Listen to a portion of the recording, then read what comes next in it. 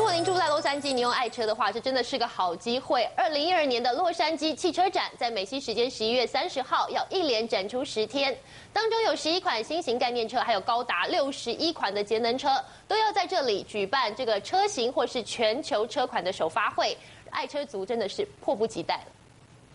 强调就从这里开始，不论是看各厂牌的最新车款，还是比豪华的跑车，甚至是最新的节能技术，总计近五十多家的全球汽车大厂都要在洛杉矶市中心展开。而这一系列令人眼花缭乱的内外装大比拼中，最引人注意的就是有多达十一款的概念车，全都融入节能设计理念。尤其是宾士一口气大跃进，推出二零二五年的概念车 G Force，超级霸气的车身造型，也要和消费者见面。不止看车和摸车，为了服务更多爱车民众，真正感受到沉稳又节能的行车新体验，主办单位更特别展开会场外的跑道，提供多种车款的试车活动，让民众亲自挑选多款节能新车，在感受舒适驾驶感的同时，也挑战新动力系统所带来的强劲爆发力。